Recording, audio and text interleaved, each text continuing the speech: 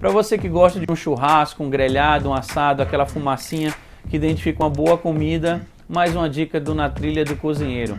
Agora no dia 16 e 17, no estacionamento do Shopping Jardins, aqui em Aracaju, será realizado o Lá Fora Steak, um evento de gastronomia que irá reunir o melhor dessa área. O canal Na Trilha Cozinheiro estará lá fazendo toda a cobertura, mostrando para vocês os bastidores e os melhores pratos.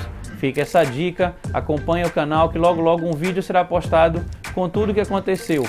E já sabe, quer viajar, quer dicas de gastronomia, siga na trilha do cozinheiro. Um abraço.